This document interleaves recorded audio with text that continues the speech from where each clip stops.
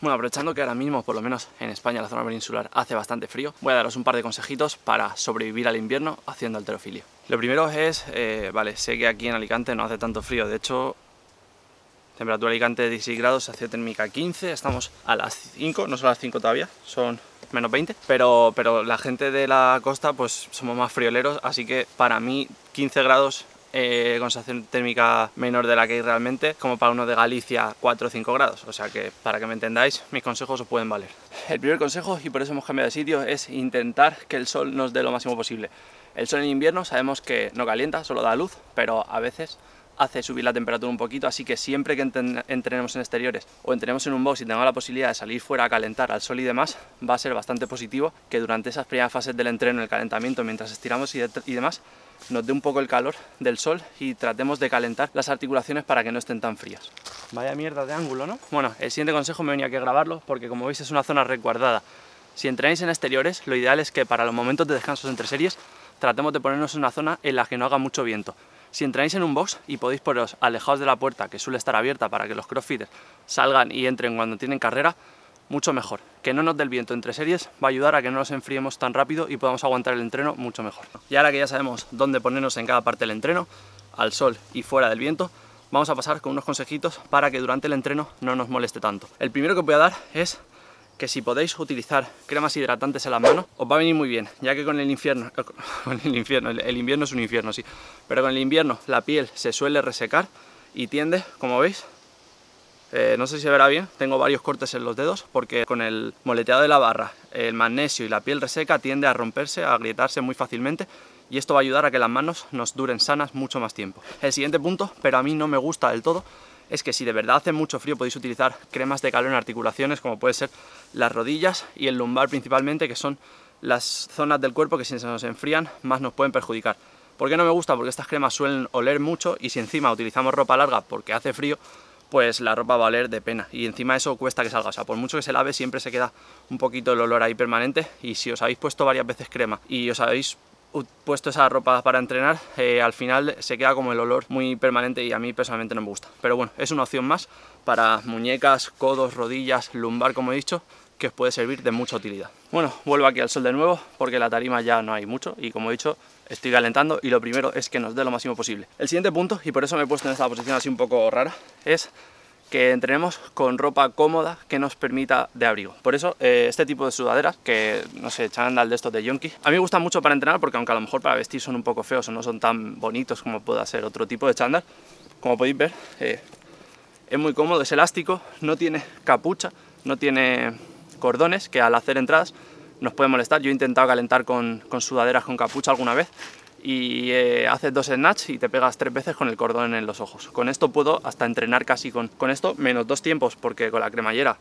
pues te chafas la barra, pero todo lo que sea arrancada sentadilla trasera, esta prenda de ropa es muy cómoda para entrenar. También, bueno, el tema de mallas y demás, no hace falta que lo diga, pues ahí es como más cómodos estéis. A mí personalmente me gustan las mallas largas respecto a los pantalones, porque, bueno, pues, eh, te permite mayor libertad de movimientos, al final es como, como entrenar con ropa corta. Yo también tengo más cómodo con mallas cortas que con pantalón corto, pero ahí donde estéis más cómodos. Principalmente, pues eh, la malla va a estar pegada y no se va a enganchar tanto la barra, pero se rompe mucho. Así que, bueno, pues encontrar un aparato que estéis cómodos y al lío. También una buena opción para las mallas son estas que tienen una cremallera en el lateral, porque si al final empecéis a entrenar, al principio suele hacer frío, pero luego veis que entráis en calor y os empecéis a calorar, empezáis a sudar, podéis remangároslas un poquito y hacer como si fuesen unas típicas mallas estas de tres cuartos, no sé, están más cortas, porque otro de los puntos importantes también es que si hace frío y empezáis a sudar, eh, tratad de mantener ese calor corporal lo máximo posible, ya que como os enfriéis eh, vais a arruinar el entreno y va a ser bastante probable que os constipéis o que te, podáis resfriaros, así que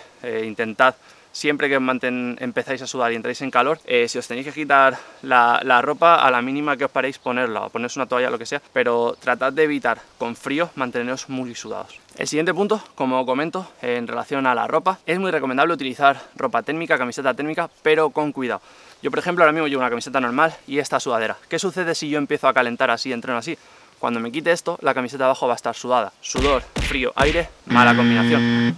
Así que lo ideal, y lo que yo suelo hacer cuando hace mucho frío, lo que podéis hacer la gente del norte o la gente del interior de España que vivís en zonas que realmente hace frío, no aquí, aunque yo me queje mucho, es calentar con una térmica y esta sudadera. Cuando empezáis a entrar en calor y empezáis a notaros cómodos, os quitéis la sudadera y os ponéis una camiseta seca encima.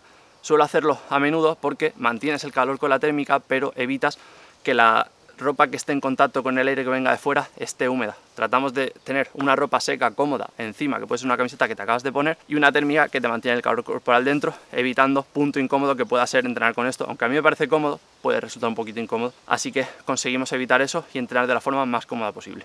Y finalmente, cuando empezamos a entrenar, ya estamos cómodos, tenemos la ropa adecuada. la recomendación que os quiero dar en relación al tipo de equipamiento demás que podéis llevar, nunca está de más una rodillera de neopreno. En este caso estoy probando últimamente esta Teprocis, que pues os dejo aquí un descuento. Como siempre os he dicho, si tenéis otro mayor no lo uséis, pero si vais a usar el de cualquier tío fitness, utilizad este, ¿no? que darle dinero para un tío que hace cool de bíceps. No sé lo que veis. Eh, la verdad es que me están molando. El único punto es que son muy largas, o sea, como cubren mucha pierna. Eh, ¿Qué sucede con esto? Pues que a mí personalmente me gusta que se acaben justo donde empieza el cuádriceps, porque aquí ya me pego la barra y no tengo problemas. Con estas a veces me rozo un poquito la parte de arriba, pero bueno, la verdad es que son bastante cómodas.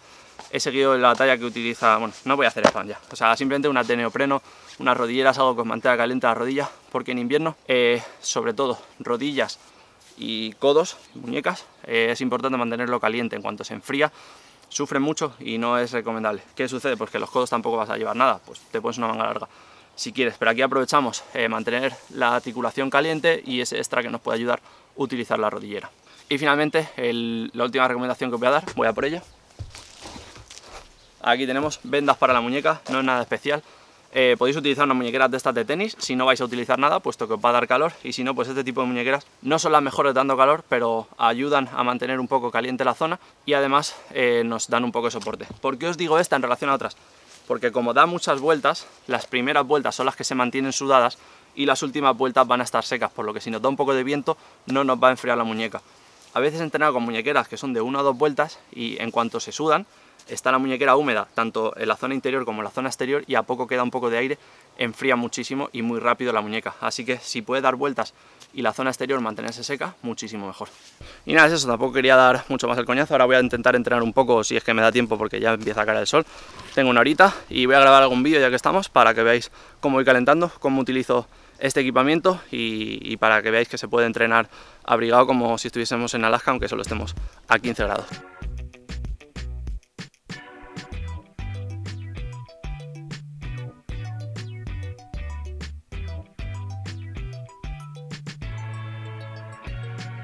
Bueno, vaya, el último consejito, eh, calentad bien, ya no son solo las articulaciones, sino que la musculatura, cuando hace frío, tiene mayor facilidad a romperse, podemos tener molestias, así que ya no es solo realizar, sobre todo evitar hacer estiramientos pasivos cuando la musculatura está en fría, primero una entrada en calor para subir la temperatura corporal y luego vamos a ir moviéndonos poco a poco, intentando evitar sobre todo eso, en esta época del año, los estiramientos pasivos solo para momentos muy marcados. ¿Por qué? Porque van a ser momentos en los que el músculo va a sufrir bastante y además vamos a estar parados. ¿Eso qué significa? Que va a ser más fácil que nos enfriemos. Siempre que podamos calentar movimientos dinámicos y que hagan aumentar también la temperatura corporal, mucho mejor.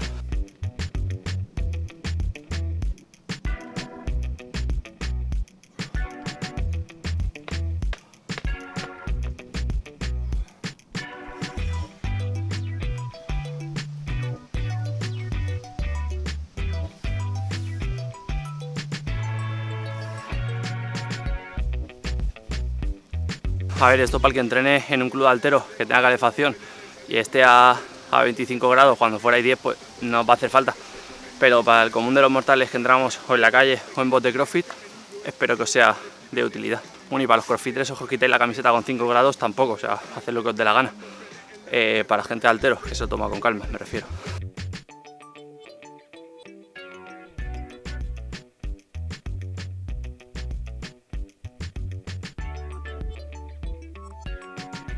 Yo, por ejemplo, lo que voy a hacer es levantar sin correas hasta 50 kilos y luego utilizar correas. No me importa que el entreno de hoy sea todo con correas.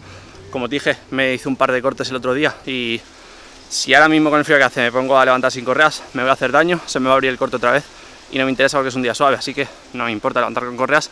Además la muñeca va a sufrir menos, por lo que los días suaves es una muy buena opción para evitar sufrimientos innecesarios.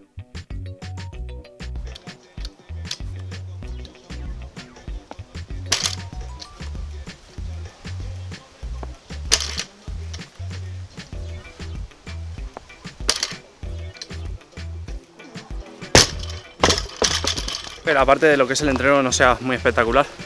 Voy a hacer más el snatch a 4 repes. Voy a probar con 80 a ver si entra 80-85 alguna, porque he, intentado hacer alguna entrada y me molestaba la muñeca, así que bueno, pues después de máximos, resactivo.